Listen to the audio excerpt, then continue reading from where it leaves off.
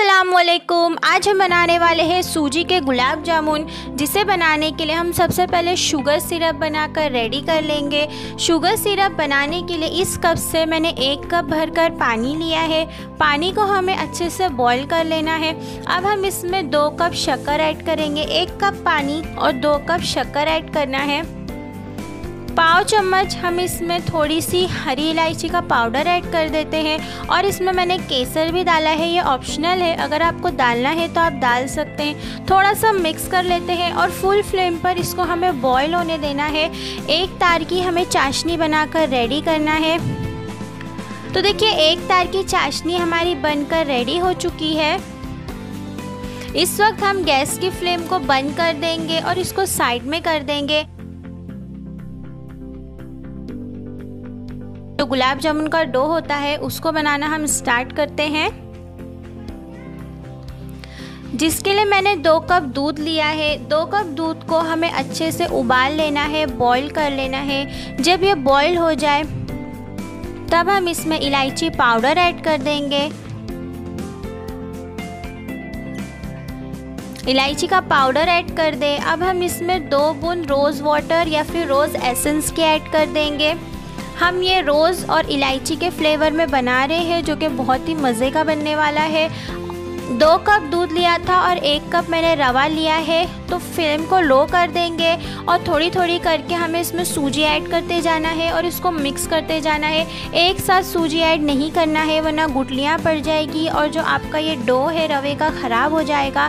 तो देखिए, सारी सूजी को मैंने ऐड कर दिया है। अब इसको लो फ्लेम पर मिक्स कर देंगे। ये डो की शक्ल में आ चुका है। गैस को अब हम बंद कर देते हैं और इसको एक प्लेट में निकाल देते हैं।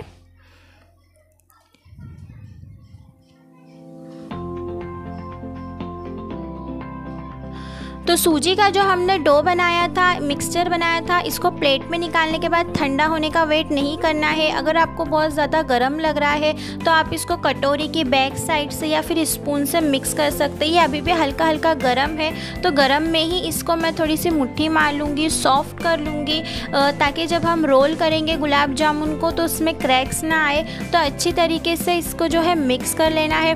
थोड़ा सा इसमें हाफ़ टी स्पून या फिर पाव चम्मच के करीब घी भी ऐड करेंगे, घी ऐड करके इसको मिक्स कर लेंगे।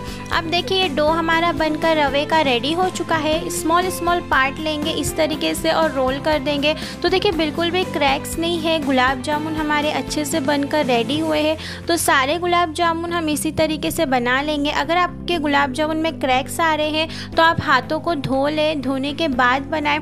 हाथों पर घी होने की वजह से उसमें अक्सर क्रैक्स आ जाते हैं। तो सारे गुलाब जामुन बनाकर अगर आप रख रहे रहे हैं तो वो सूख सकते हैं। जिसकी वजह से आप घी का हाथ लगा लें उसके ऊपर, जिसके, जिससे वो सूखेंगे नहीं। अगर सूख जाएँगे तो एक कड़क हो जाएँगे और फ्राई करते वक्त फट सकते हैं। या तो फिर आप एक एक गुलाब जामुन बनाते जाएँ और ऑयल में फ्राई करते जाएँ।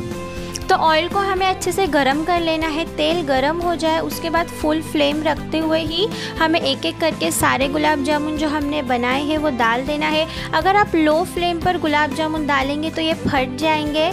इसलिए हमें फ्लेम को हाई रखना है और जब हाई फ्लेम पर ये थोड़े से हल्के से कलर आ जाए, तब हम फ्लेम को मीडियम कर देंगे। देखिए, इस कलर आने पर हम फ्लेम को मीडियम कर देंगे। अब मीडियम फ्लेम पर हमें कंटिन्यू स्पून से इसको चलाते रहना है, ताकि हर तरफ़ एक जैसा कलर आए। अगर आप चलाओगे नहीं तो एक जगह डार्क कलर आ जाएगा और एक जगह लाइट कलर आ जाएगा। इस वजह से हमें इसको हर तरफ़ से चलाते रहना है कंटिन्यू तो सारे देखिए गुलाब जामुन हमारे अच्छी तरीके से फ्राई हो चुके हैं ब्राउन कलर के।